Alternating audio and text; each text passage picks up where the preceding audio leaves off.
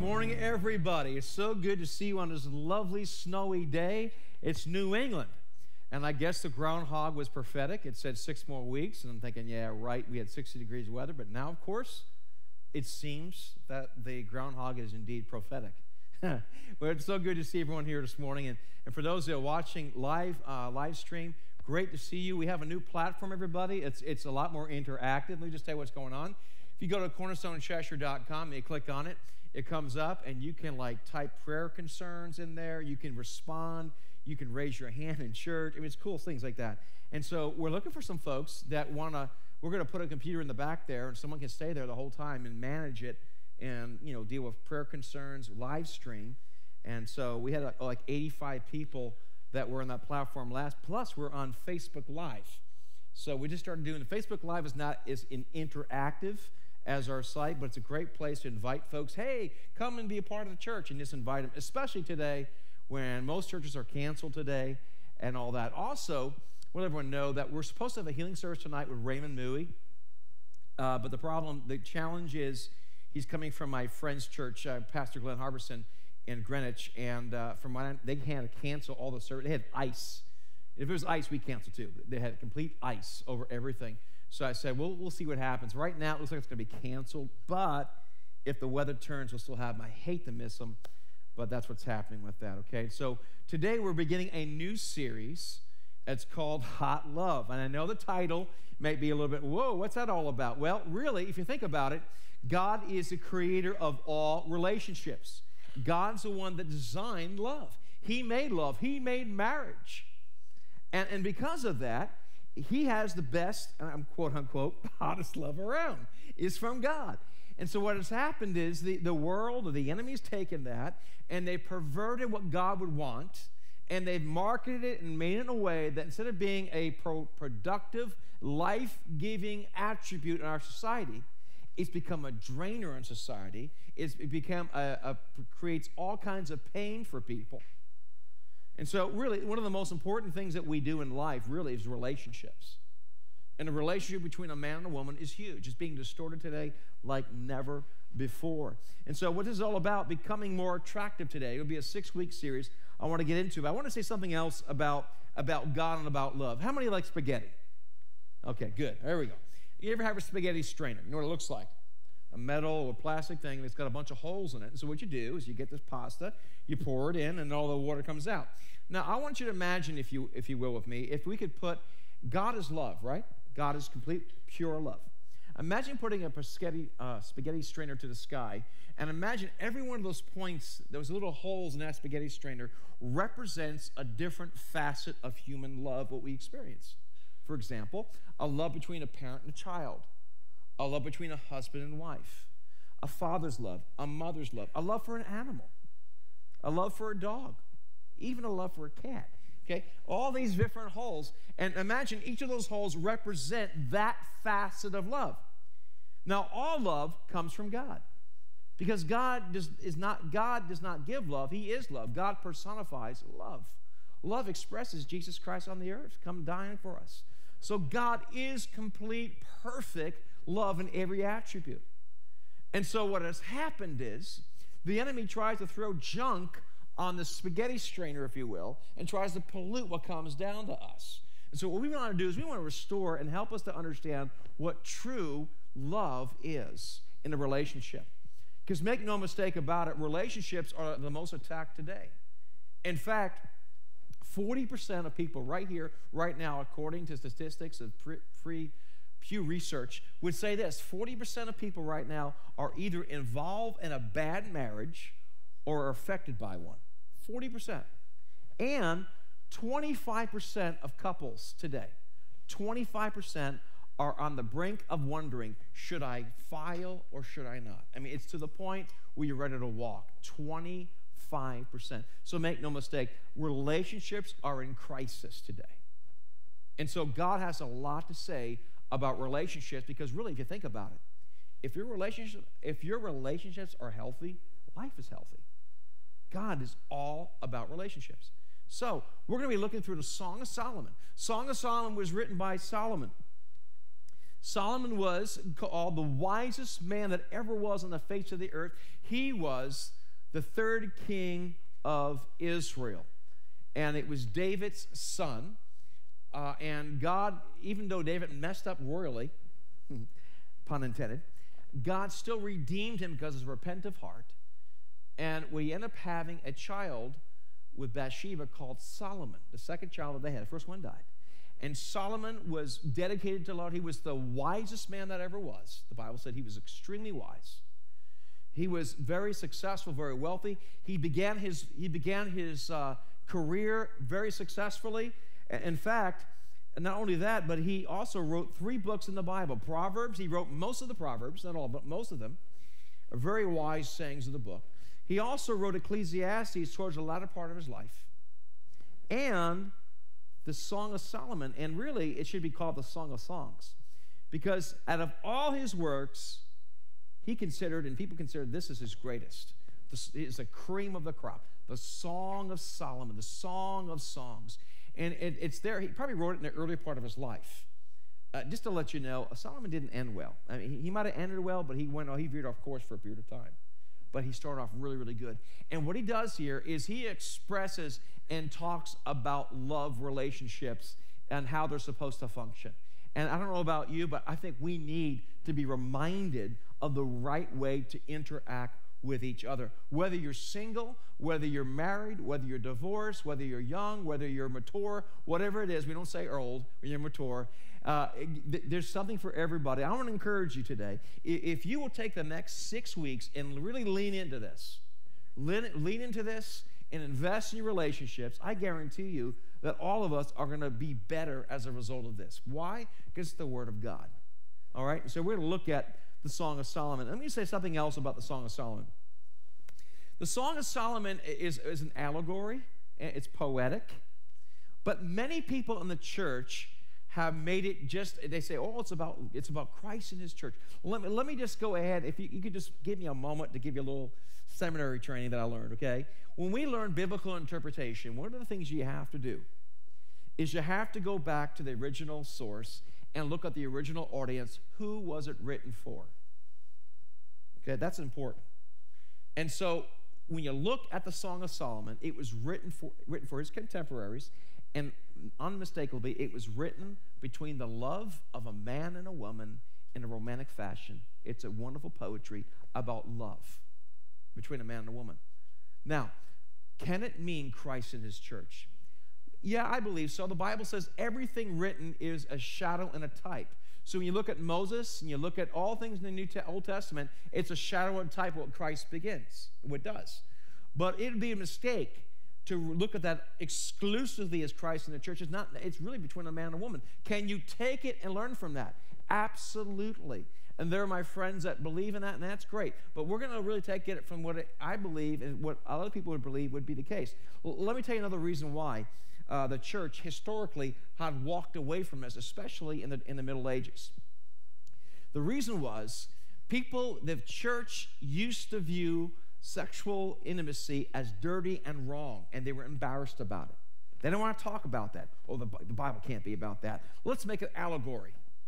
You see, and, and if you can do that to scriptures, that's not good. It's not good biblical interpretation. So you understand what I'm trying to say? It's always good to go back to the original source, read it within the context it has, Ask the Holy Spirit to open your eyes and understand that the Bible is so, so incredible that God can take a historical story and make it a type and a shadow of what is supposed to be in the New Testament. The Bible even says all the things in the Old Testament are allegory. It can be used as teaching points for what's happened. God will make historical things happen. So I hope you understand that, everybody. And this is a poetic thing, okay? So we're going to look at it. So, the Song of Solomon's there, uh, the basically Song of Songs, there are three main groups throughout this, throughout this work to help you understand. The first one is Solomon. He's the lover, that's the king. Then you have the woman, beloved, she speaks. And then you have the daughters of Jerusalem, like this chorus of friends that will kind of chime in. Oh, yeah, he's great. They'll kind of agree with what he is saying or she is saying. You know, it tells me a couple of things, by the way. It tells me partially that our relationships should not be in a vacuum. That knowing each other blessing each other, that you know our relationship should really be influenced by our friends, that we should encourage each other in our relationships. And that's exactly what's happening here. They're encouraging the relationship. They're affirming what's going on. Do you have anyone affirming your relationship in a positive way? That's why we have small groups partially.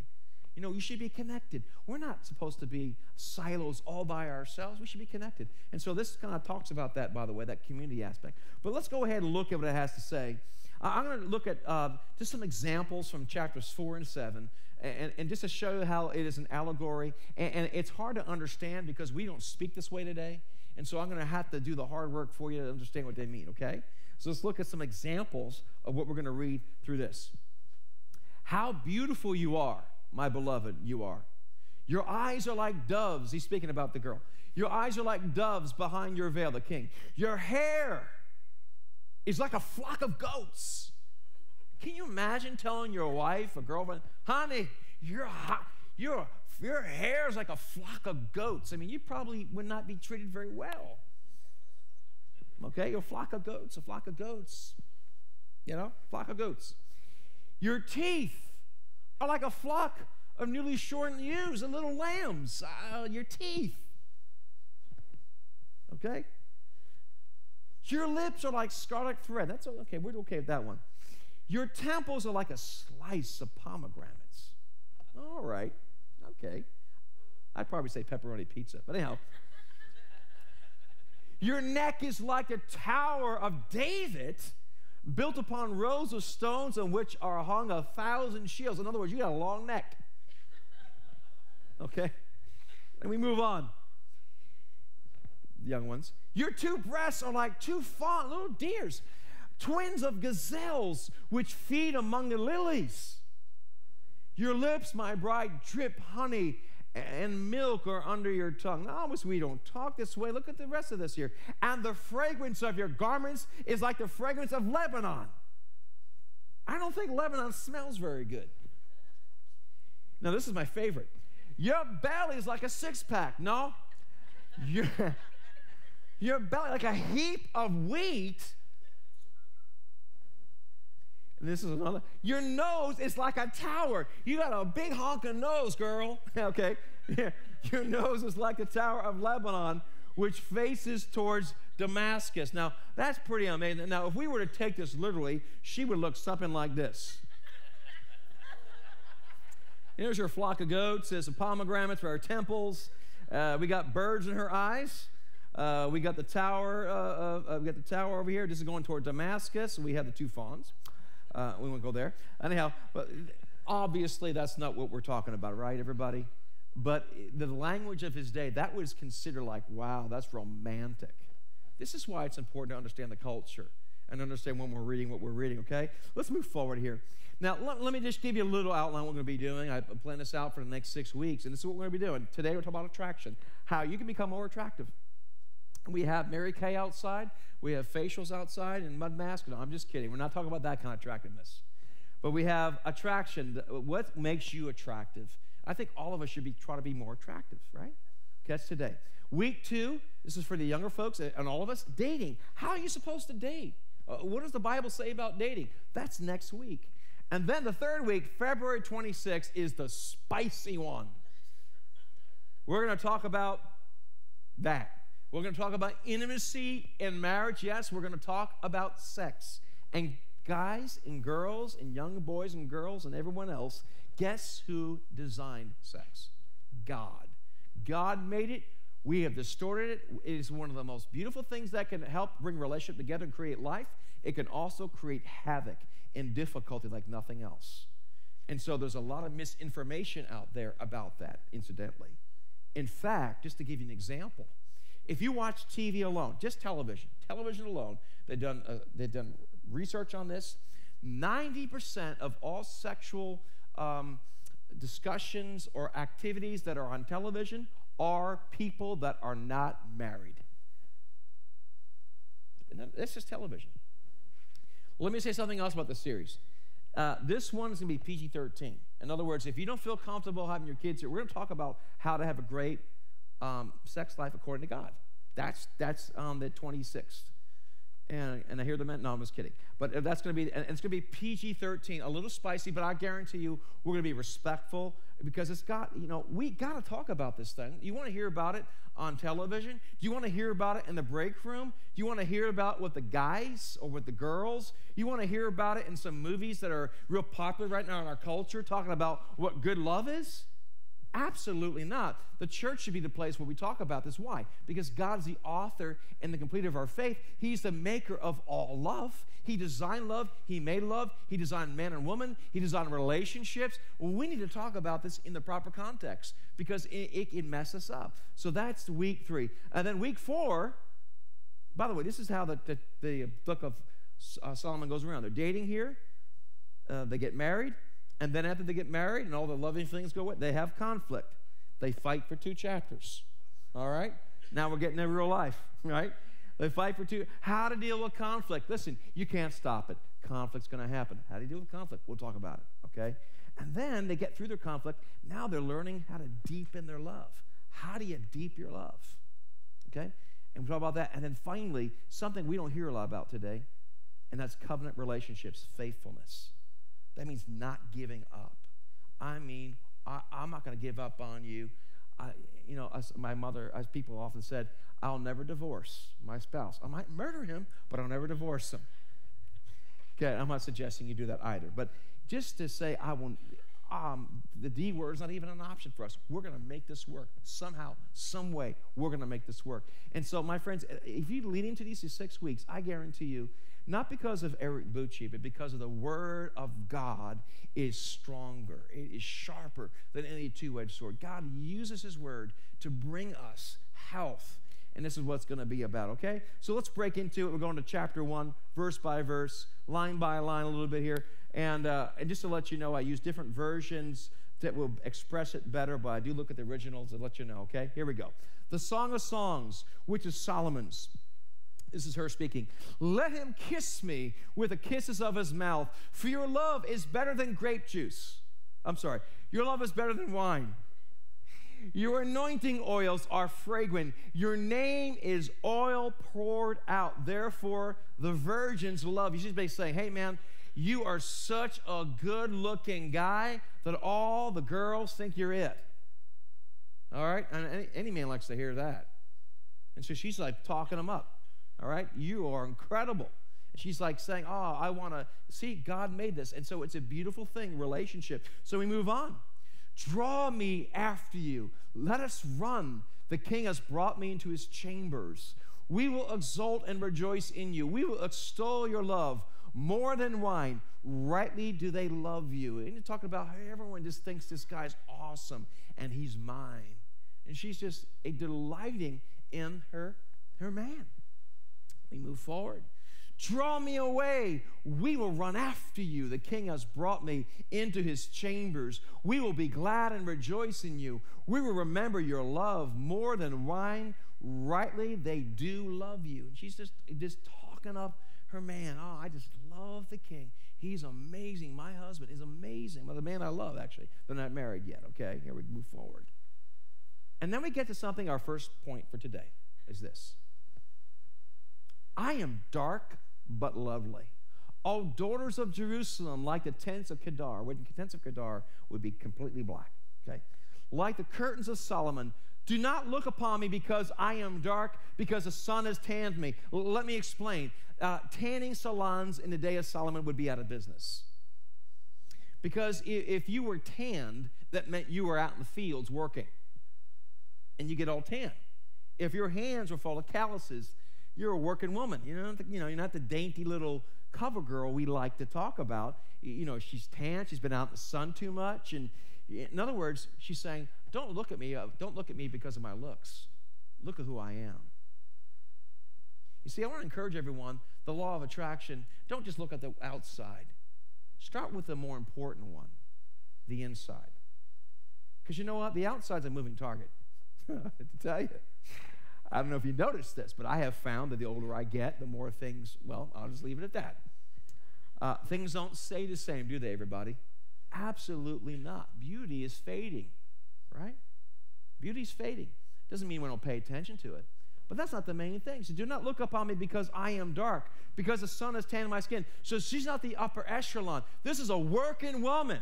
She, you know, she's out there in the fields and she's not sitting there under, staying out of the sunlight. She doesn't have a cloak over her face. She's not trying to avoid the sun coming in. She is out in the fields. She says, but I am dark but lovely. Uh, um, and do not look upon me because I'm dark. And oh, hey, listen, you know, I know I may be dark, but he loves me just the way I am. He doesn't look at the uh, superficial. He sees beyond the superficial. And my friends, true love sees beyond the superficial and sees what lasts forever because beauty is fading. Make no mistake, it is absolutely fading. Here we go on. My mother's sons were angry with me. They made me the keeper of the vineyards. So basically, what was happening was she had some family trouble. They weren't treating her very well. She's out in the fields. Hey, you get out there, young lady. No, you're not. We're not going to treat you like a, a, lady. You get out there and work. She's working a hard day's night and she's not sleeping like a log, right? And, she's got tan skin. Her hands are all, and she's a working woman. Pedicure not happening. Medi- medicure. well, we need to work on that too. Pedicure, whatever these things called, whatever they call them, I don't know. Uh, my, my wife likes those too. Getting her nails done. I mean, she does not have it all together. She's out there working hard, all right? And, and, she says, They made me the keeper of the vineyards. Now, now, this is the actual vineyard. Now she's talking about the vineyard of herself. But my own vineyard I have not kept. In other words, my own body. I have not just I have not kept up with it like I would like to because I'm busy working. Can I hear an amen from the women? Can I hear oh no from the men? No, I'm just kidding. No, I'm just kidding. Tell me, you whom my soul loves where your pasture, your flock, where you make it lie down at noon. For why should I be like the one who veils herself besides the flocks of your companions? Now, what she's saying is, is why should I dress like a veiled woman? You know what a veiled woman is? A prostitute. She's saying, why should I walk around flaunting my body in a way that would bring sexual attention to myself? I'm not saying she's not dressing nice. I'm saying, why should I draw people to look at me as a sexual object instead of a person? And uh, let me tell you something, young ladies, and I'll tell the men too. You can dress in a way that will, will, will make it difficult for people not to see you more than a sexual object. Now, I'm not one of these folks who are going to have to have a dress down to your ankles and you have to put a Pentecostal bun. You know what a Pentecostal bun is? I call it bondage, where you put you tighten your hair. Okay, and we're not talking about that. I'm talking about dressing in a way that would basically, there's some people out there, they're, they're perverted. No matter what you do, they'll be perverted. But I'm talking drawing attention to yourself sexually by wearing outfits that are creating that aspect, or talking that way, or doing things, or flirting, or, or doing things that are all sexual, trying to arouse somebody. Instead of that, getting them to know who you are, you're putting on the airs. Okay? She's saying, I'm not that way. Tell me whom you love, my soul, where you pasture your flocks, where you make it lie down at noon. For why should I be like one of those who veils ourselves? Ladies and, and people, why should we be like the world that prostitutes themselves, that makes the physical more important than the emotional and the spiritual? Why emphasize something that's really more exclusive? It's exclusive for marriage. That's what she goes on for herself. So, being more attractive, number one thing to be more attractive, I'm not just saying because I'm a pastor, I'm saying because it's the truth, is spiritual attraction. Why would I say that? I'll tell you why. What lives forever? Your what? Spirit. Why not invest in what lasts forever? Your spirit. Jesus said this out of your innermost being will flow, out of your spirit will flow rivers of living water, right? And so, what we want to happen is, I want our attraction of my life to be from the Spirit of God in me that flows to the rest of me. Let me tell you something. I have found this through being in the ministry a number of years. My dad even told me this. He says, "Be careful when you become a pastor, because a lot of women, a lot of women don't have husbands that are spiritual. And so if you listen to these women and talk to them, they're going to like you because you're spiritual, not because you're good at good looking. Thanks, Dad. but seriously, and, and let me tell you something. I've heard women say this all the time. When my husband's spiritual, they find you attractive. And so, guys, you know, instead of being in church like this, oh, Jesus, you know, everything I need right now. Guys, get your hands in the air. You know, hold the TV set. All right? My fish is this big. Okay? Goalpost. lifting up holy hands. The Bible says, men, I tell men everywhere, lifting up holy hands. What's the deal with that? It's just saying, God, I love you. Women love guys that are spiritual. You know, guys are supposed to be the spiritual head of the house. And when that begins to happen, all the cylinders in the ladies go, Whoa, he's my spiritual leader. I love this. It's something. Can I hear an amen, ladies? Hey, wow. Yeah, I didn't have to turn that one up. They're ready to go. Men sometimes are unseen in church. Men, we should be the leaders in church. We should show the women, right? We should help lead in church. The women do a better job in church than a lot of the men do. We should work together, not competing, but working together in concert. And the men haven't done their job. When the women and men come together, wow, it's a force to be reckoned with. we have spiritual attraction. It's the most important thing in a relationship. And how does it happen? Well, love and honors God. Do, do you love and honor God? Does the person you're interested love and honor God? With their money? With their time? How do they treat each other? This is why it's important, by the way, uh, young ladies. How does uh, how does he treat his mom? Now, some of them never get rid of mom, and that could be a problem. okay, you know, you're like you can get rid of your mom. The Bible says a man shall leave his father and mother and be joined to his wife. The two should become one flesh. Okay, some guys never leave their moms, and and they always play second fiddle. That ain't right. When you're married to your wife, she should be the first, not the second. However, how a man treats his mother will very much be what how he'll treat you, and vice versa. How does the guy treat his mother? Is he disrespectful? Does he not care? Comes in the house, just throw in, mom, do everything. Well, guess what's going to happen to you? Same thing. And, this is what I've learned also. I know this sounds kind of bad, but it's true. Whatever you see before marriage, exaggerate when you get, eh, you'll see when you get married. Whatever you see before marriage, exaggerate. If, he can, if, he, if she's a complainer before you're married, forget about when you get married. All right? Listen, now's the time to, to, to parse it out. Don't wait till you get married. Find these things now. And, and, and date long enough where you get to see the flaws.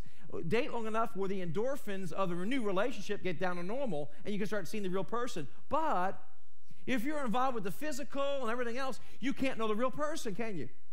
You'll be intoxicated by romance instead of knowing the person. And so, love that honors God. Do they honor God? Do they worship God? Here's another one that's important connected to your God given purpose. Why are you on the planet for? And I'll tell you, I encourage you to get involved here at the church. Serve together. Serve in the nursery. Serve in a youth group. Serve having a small group. Listen, try having an argument within 25 minutes. You got people coming to your house. You got to make up quick. I'm telling you, being a pastor, that one of the fringe benefits of being a pastor is I can't get up here and lie to you. I can, but I don't want to. My kids will tell you, right? I want to make up with my wife before I get up here, so I got to make sure. Saturday night, big repentance every week. No, I'm just kidding.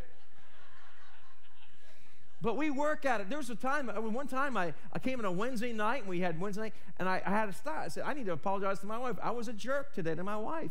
And, you know, I can be a jerk sometimes. She's never that way, but I can be.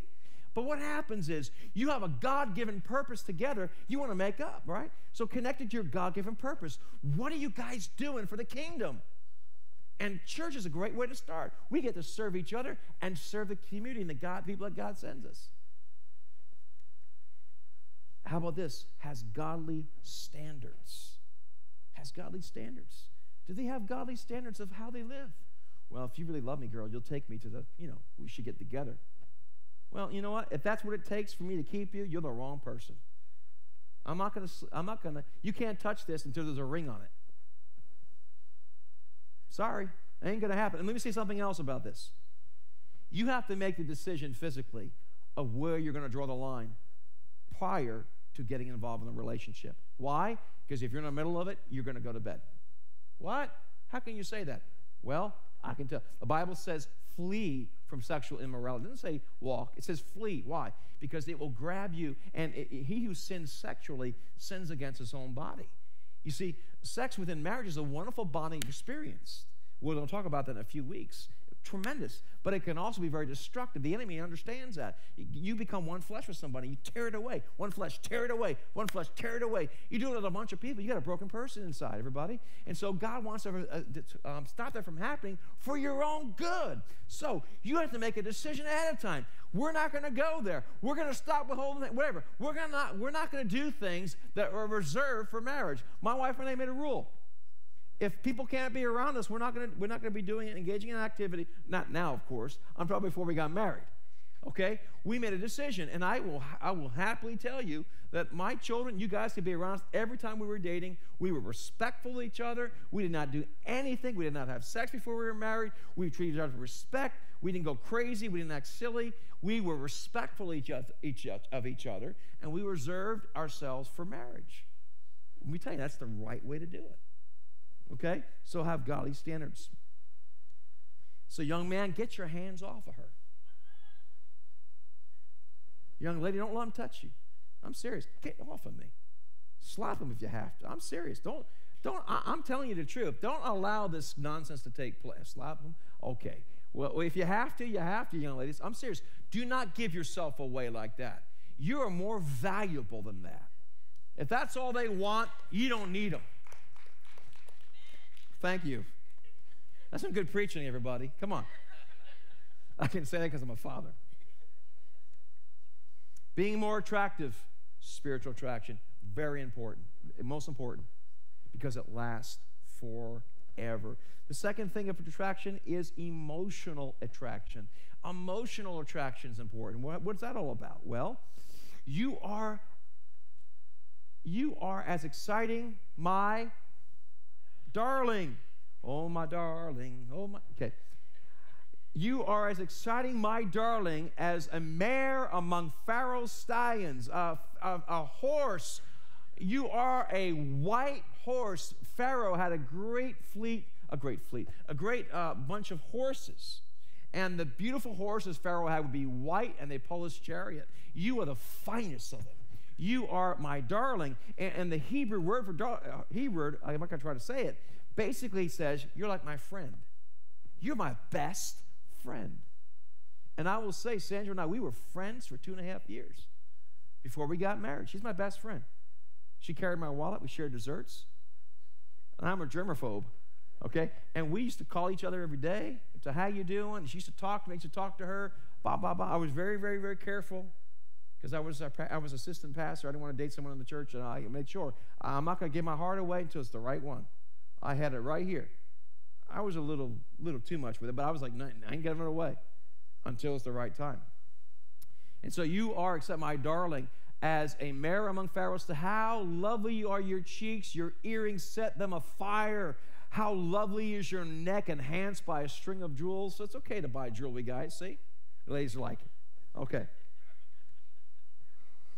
We will make for you earrings of gold and beads of silver. The king is lying on his couch, enchanted by the fragrance of my perfume.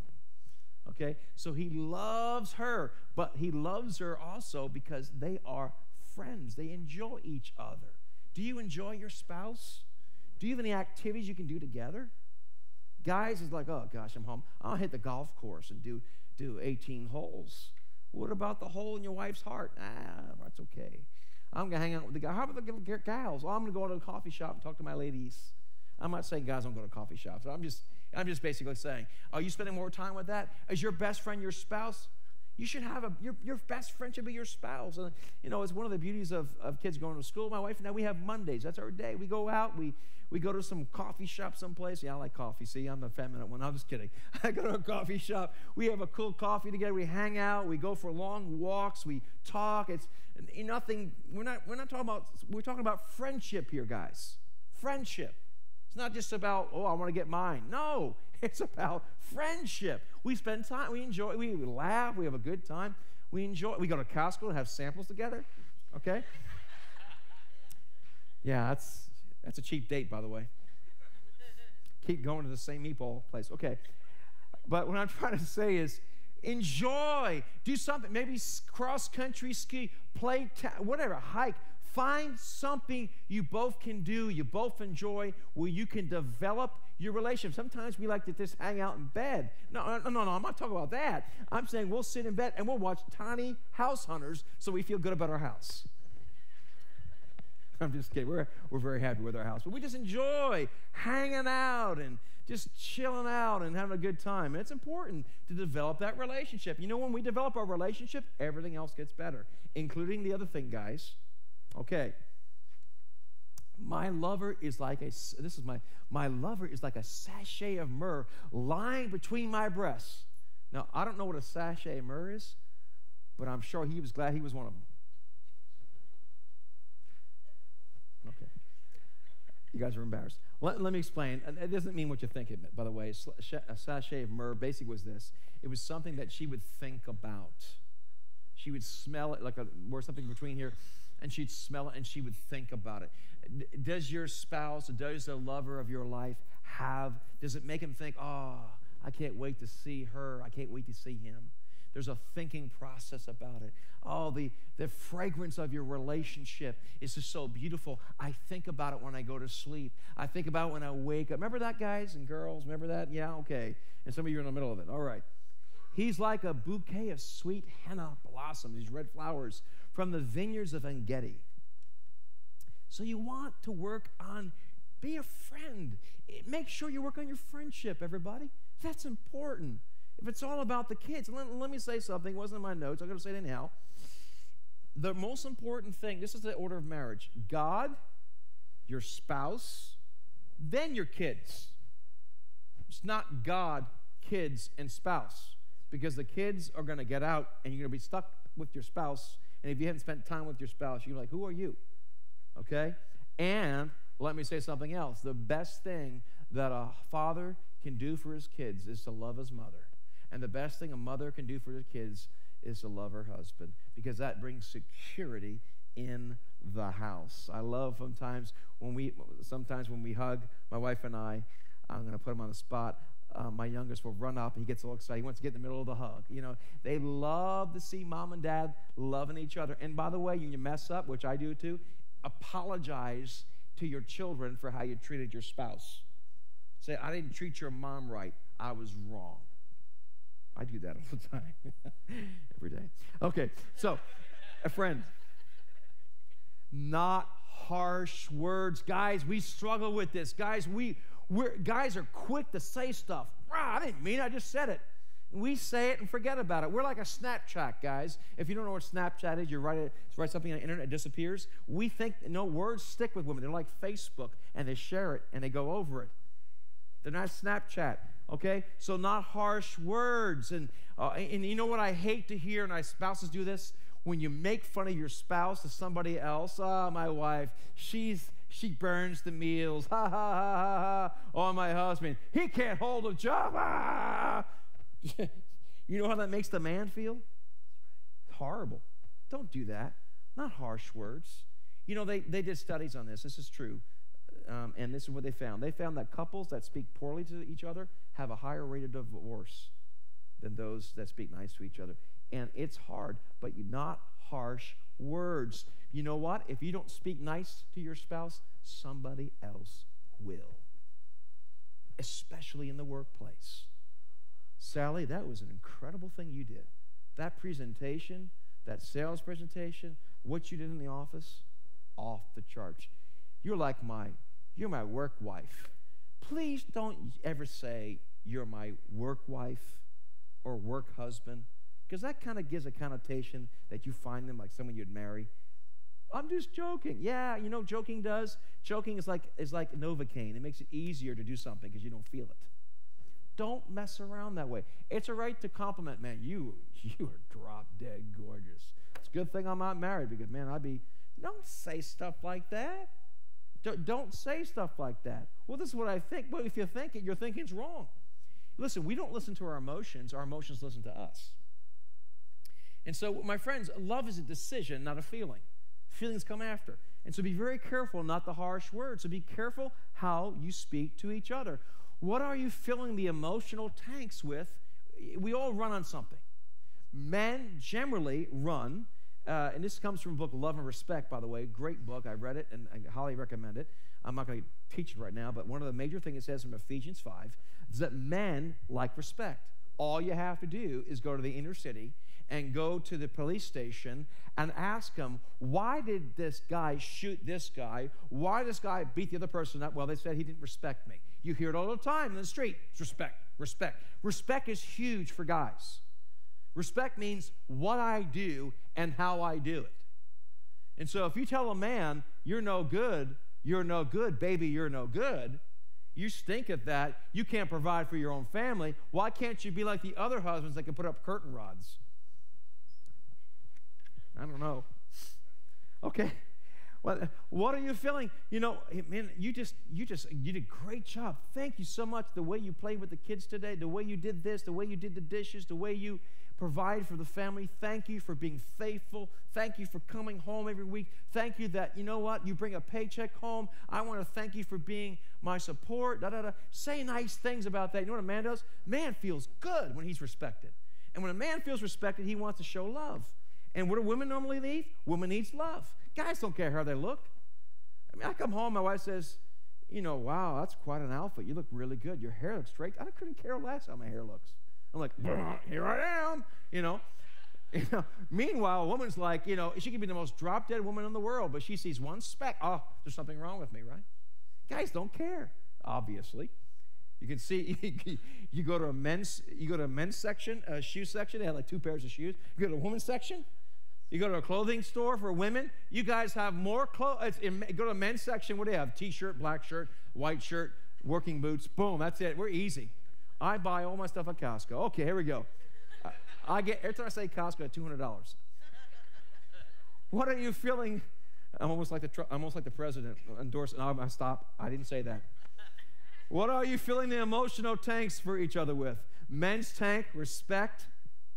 Woman's tank is love. If you don't fill it, somebody else will. I'm going to tell you right now. So we have a friend not harsh words, and it takes captive every thought. Wow, she likes me. She finds me attractive. I haven't been told in years that I'm attractive. I feel like I'm back in high school again. And let me say something about this. This is not in my notes. I don't know why I'm saying this. Maybe the Holy Spirit's prompting me. Watch out for high school reunions. Watch out for Facebook reacquaintances. Oh, my first girlfriend. I found her on Facebook. Especially for those of the, the young kids don't use Facebook, but for the rest of us, Facebook. Oh, how are you doing? Oh, you look great. Boom, boom, boom, boom, boom. Oh, I'm flying in the area on business. Let's get coffee. Oh, no way. Don't do it. Don't entertain that. Because what's going to happen, I'm going to tell you right now, you're going to be transported back when you're 17 again. I've seen this happen more times than I'd like to say. Facebook romances. Do not do it. Have your spouse to be able to see your Facebook, your Snapchat, your Twitter, whatever the Twitter, whatever you got out there, I don't care, but take captive every thought. I find her attractive. So what? I find him attractive. So what? That's your emotions. You're responding to the stimuli. Big deal. Get over yourself. You're going to be tempted occasionally. I'm tempted to eat things I shouldn't eat. I'm tempted to get angry at people I shouldn't get angry at. Do I give in to it? No, I know better. I know that those, those decisions will cause me trouble. Well, just like you don't yell at people and do things that are wrong sexually and don't be flirting. Take every thought captive. Guys, we don't need to be looking at stuff online that no one can do. These airbrush women are not even real. Fantasy. Don't get your mind filled with that junk. It will ruin you. It's not freedom, it's bondage. Even secular sociologists and psychologists are saying, and even Time magazine had, an, had a big article on it about last year about the toxicity and the chemical, the neural problems associated with pornography.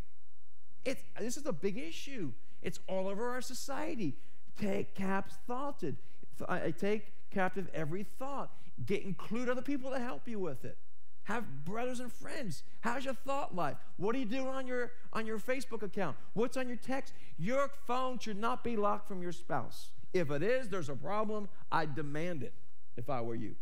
Uh, oh, uh, no, you know what? We're one flesh here. I need to see what's on your phone.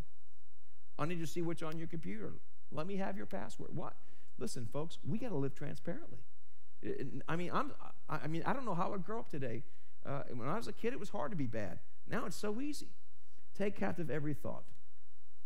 Relationships are, let me share with you what relationships are. They are, I, we believe, and I believe this from other people that I've read some books and, and other studies, spiritual, 75% of our relationship, of healthy relationships, are spiritual, according to the Word of God. And I believe that to be true based upon what we can see. 75% spiritual, emotional, 20%.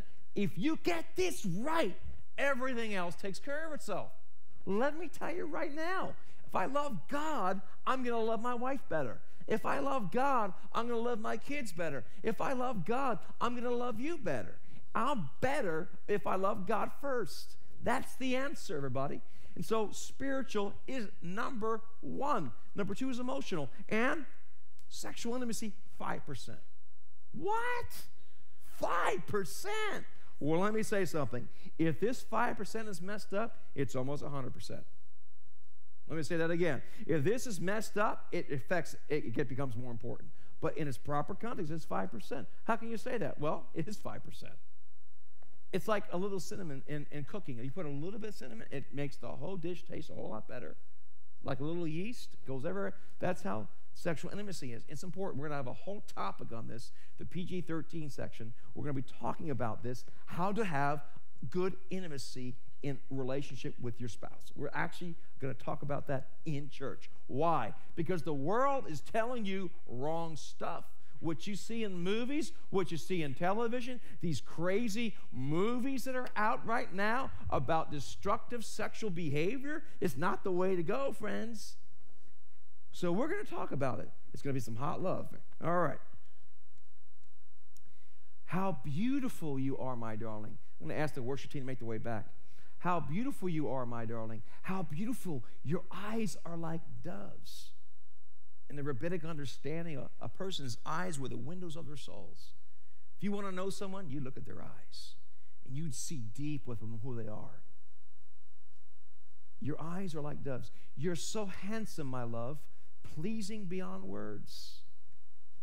The soft grass is our bed, fragrant cedar branches are the beams of our house and pleasant smelling firs are the rafters. So now we're talking about the physical attraction. Here we go to the 5% that if it's not right, it's like 100%. Let me say that let me say that again. If the 5% ain't right, it becomes 100% of a problem in a marriage. I'm not making this stuff up. I, this is what Christian psychologists and Gary Smalley and other people I've read about talk about. Okay, physical attraction. How does this work? I am the rose of Sharon, a lily of the valley.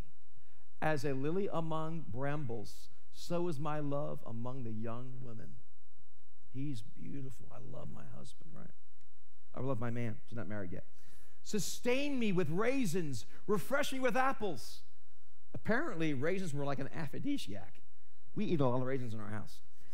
Sustain me with raisins, refresh me with apples, for I am sick with love. You know what I'm talking about? You know, oh, I'm so sick with love. I love it. Okay, I'm sick with love. His left hand is under my head, and his right hand embraces me. Uh oh. Yep. I adore you, O daughters of Jerusalem, by the gazelles, these deer again, or, or, the does of the field, that you do not stir up or awaken love. Wait a minute, we're getting too far here. Let's stop. That's what happened. They were going too far. We got to stop this. Let's not awaken this thing until it's the right time. All right? Not stir up or awaken love until it pleases, until the right time. What's the right time? Get a ring on it. Get married. Don't be having sex. Let me just say it flat out. Don't have sex before you get married. And if you're doing that, stop it. How do I stop it? Well, you can if you make a decision. Why? Do it God's way. Then get married for crying out loud. Why? It's not good for you. God wants to bless you, everybody. Okay, I'm not making this stuff up. It's not up to me. Not stir up love or waking love till it finds its time. Promise me, old woman of Jerusalem, by the gazelles and the deer. Here we go again, the deer and the gazelles. not to awaken love until the time is right. Young people, don't waken up love to the wrong time. And don't give your heart away to anybody. I'm not talking about sex. I'm just talking about intimacy and falling in love. It stinks to fall in love and break up and have your heart trampled on. It's why should a 17 year old child or 14 year old child go through that pain? Be friends. You're not going to get married for a while. Why waste your heart? You can still like somebody, but keep it friendship. Keep it in groups. Let me tell you, I'm telling you this for your own good, not because I want to hurt anybody. And then when the right one comes, your heart's not going to be all shattered and broken. Okay, now that's between you and God how you work it out. The Bible is very clear about intimacy. So promise me, O woman of Jerusalem, do not awaken love until the timing is right. So I want to encourage, let's bow our heads if we could. Father, I want to thank you so much for you are the way, you're the truth, and you are the life. Father, I thank you, you are the way. And Lord, I pray for some of us right now and, and all of us in this room how, are not acting in the proper way. None of us are perfect in our relationships. And Father, we declare today we're going to make your way our way with your help. So, Father, I pray for those that are involved with relationships right now. They're dating, they're involved, whatever they're doing with someone else, and, and it's not right. Well, Lord, we, we realize we're, we're hurting ourselves. We want to do it your way. And so, Father, we choose your way and you are the truth. We, your way, and we're going to live your truth, and you will give us the life. In Jesus' name. In Jesus' name. Father, forgive us for going the wrong way. I just pray right now that you would restore marriages for everyone watching online right now, live or later, and those here right now. Lord, we just pray that marriages would be restored in this house. Father, that our teenagers and young people would be pure they would be examples of integrity in the high schools and junior highs. Father, in colleges and young adult circles, Lord God, that they would encourage each other. They would encourage proper relationships to help them to become all that you've become. Father, we want to thank you for, for love between husband and wife, the beautiful romance that's there. We're asking that we'd experience it in the proper context of what you created to be so we can be healthy and happy the way you created us to be. So, Lord, I pray right now for those that are struggling with the physical aspects of their marriage. I pray for healing in that area, the intimacy. I pray for healing of the emotional the friendship. I pray that you restore friendships in this place. We know that friendships are not restored without forgiveness. We'd forgive each other quickly. And Father, I pray for the spiritual, the most important, that we would make it our priority to make sure that we're first with you in Jesus' name. With every head bowed, I'm going to ask you a question right now. The question is this How are you with God? Have you given your life to God? And those watching online right now, Facebook or our platform, are you right with God? Are you right with God right now? If you were to die right now, are you absolutely positive you'd be with Him in heaven? Well, I'm pretty good compared to everyone else. And that's not good enough. You're going to be perfect. And none of us are perfect without the blood of Jesus Christ who takes away our sins. He takes away our past, cleanses us, and gives us hope for a new future. Have you given your life to Jesus? Maybe you've walked away and you knew better, but you wanted to have this relationship. I want to have this relationship. I know it's wrong, but let me push God away for a while. And you realize you've been compromising way too much and you've fallen from God. Maybe now's your time to get right with Him. So, with every head bowed, I'm going to ask you a question. If you want to give your life to God for the first time or get right with Him again because you've walked away, on the count of three, I'm going to ask you to raise your hand real quick. And even online, you can click online. One, two, three. Real quick. Anyone say, I want to get right with God? Anyone here this morning? Thank you. Thank you. Thank you. It takes courage to do that. You put your hands down. There is a, a connection card. I don't have it in front of me. You have a connection card, honey? All right, the connection card. In the card, it says, I made a decision for Jesus today. If you could fill that out, everybody, so we can keep, we want to help you grow forward, okay? That's what we're going to do. And so let's just pray right now. You're going to pre- repeat this prayer after me. Lord Jesus, I thank you for dying on the cross for me. I believe you are the Son of God. I give my life to you for the first time, oh, I recommit my life to you. I recognize you have not been first place. I today have made a decision that you are my God and I will follow you. I ask you to forgive me of all of my sins. Maybe you want to confess some of those sins right now. It's the sins that I'm aware of. And I ask you to forgive me of all my sins, both known and unknown. And I choose, with your help, to walk with you all the days of my life. Thank you that I am now your child in Jesus' name. Everyone said, Amen.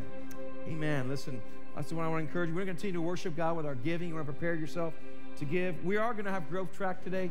I know it's late, but we're here anyhow. We have a full lunch for you. Growth Track step step two. It's all about connecting to the church. What do we believe? What we're about? How can you get connected with your spouse at church? Find out today. We have a great lunch. Also, we want to encourage you. Go ahead, guys and gals. Uh, we also want to encourage you to sign up for small groups. Let's not do this alone, everybody. Let's work together in Jesus' name. Lord, bless this offering in Jesus' name. You see the different ways you can give. Let's go ahead and do that. Thank you so much. Thank you so much. A couple of things I want to tell you also about what's happening. Um, next week is growth track number three, finding your gifts. But I want to encourage you. We're starting. We're starting small groups this week. Would you invest in it? If you don't like it, you don't have to go back, but give it a shot. And if there's nothing available, then just say, I "This is the time I like to meet," and we'll try to find a way to get you to hook up. The hookup. We're trying to find a way for you to get connected. Okay, and that's what we're to do. And so that's what it's all about. We want to get connected and make a difference together. We're going to ask our prayer team to come up. We want to have everyone stand. If you want prayer for anything at all, we want to pray for you. We believe that God answers prayers, and sometimes you need someone to join in with you and say, Will you pray with me about the situation?